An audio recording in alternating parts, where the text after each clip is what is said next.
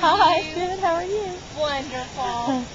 It's a We beautiful day, isn't it? Oh, it's gorgeous. We came down here last week with all the rain, and it was just flooded out through here.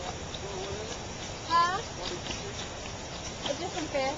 Little fish. We caught some um, tadpoles last weekend, so we came down here to get some more Oh. spring water. Because our chlorine water killed them last time.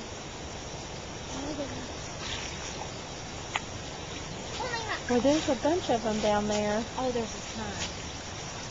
They, last time we were, they were close to uh, metamorphosing into um, toad. Oh, And really? it was the, the coolest thing, and then he caught some crawdads and tried to put them in the same thing anyway, and it killed most of them. We had Oh. to let the other ones go. It was a mess, so we're trying it one more time. See if we can accomplish it. Don't get too deep. Watch for snakes.